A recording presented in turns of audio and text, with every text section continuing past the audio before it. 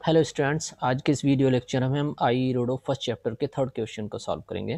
Question है कि एक कार रेक्टिलीनियरली चलना शुरू करती है ज़ीरो वेलोसिटी से five metre per second square के एक्सेलरेशन तब वो यूनिफॉर्म मोशन मेंटेन करती है कुछ देर के लिए और उसके बाद retardation, same retardation five metre per second square का और तब रुक जाती है। टोटल टाइम मोशन का ट्वेंटी फाइव सेकेंड है, एवरेज वेलोसिटी पूरे मोशन के लिए seventy two kilometre per hour, जो कि कन्वर्ट की है ट्वेंटी मीटर पर सेकेंड आती है।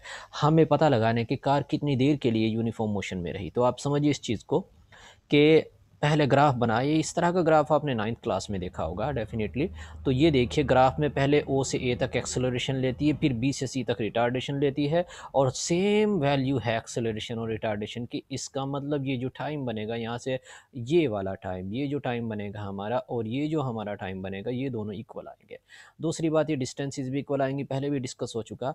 वेल हमें क्या करना है कि हम ये टाइम निकालना है। टोटल टाइम दिया है आपको ट्वेंटी फाइव सेकेंड अगर इस टाइम को आपने टी नॉट कंसीडर किया।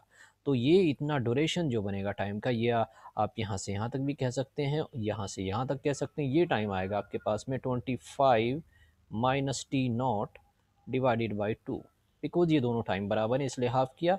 ओके देन आफ्टर अब हम ये करते हैं कि ये इस पोजीशन पर वेलोसिटी की कैलकुलेशन कर लेते हैं वी नॉट ये वी नॉट मैंने मानी, ये यूनिफॉर्म मोशन का हिस्सा है वेलोसिटी का। लेट्स कैलकुलेट दैट ये वेलोसिटी आप स्लोप से निकाल सकते हैं। तो स्लोप के लिहाज से सिचुएशन ये आएगी यहाँ पर।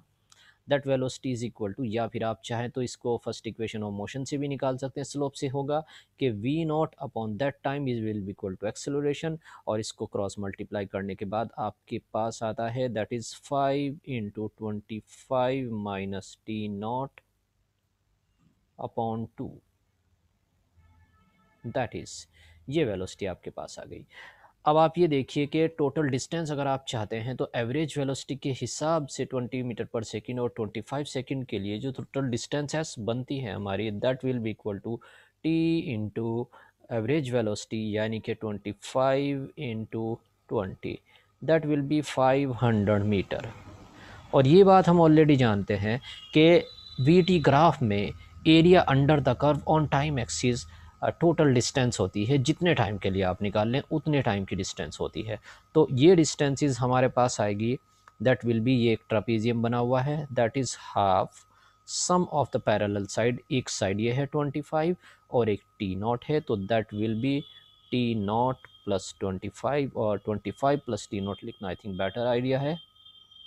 Twenty five plus t nought into between the distance of sum of parallel side you are between the distance these two parallel side, this is, ये बनता है आपका five upon two into twenty five minus t nought is equal to five hundred इसी equation को हमने ऊपर से just लिखा है this one we are writing तो ये फाइनली देखिए आप फाइव से पूरी इक्वेशन डिविजिबल है फोर से मल्टीप्लाई कर दिया फाइनली आया हमारे पास में six twenty five 625 minus t naught square is equal to uh, that is 400 and t square is equal to cross इधर उधर हमने एडजस्ट किया that will be equal to 225 तो t की वैल्यू यहाँ से आती है प्लस माइनस फिफ्टीन जस्ट हमें 15 पॉजिटिव लेना है that will be the answer of the question और नेगेटिव इसलिए नहीं लेना बिकॉज़ टाइम नेगेटिव नहीं होता.